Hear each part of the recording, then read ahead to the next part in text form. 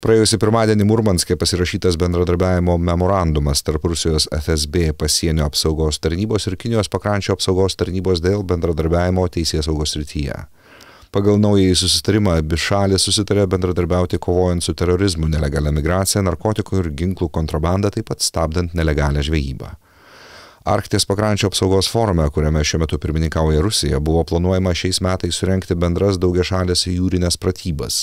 Nesant dalyvių iš Norvegijos, Švedijos, Suomijos, Islandijos, Danijos, Kanados ir JAV, FSB nusprendė pakviesti Kiniją stebėtojos teisėmis.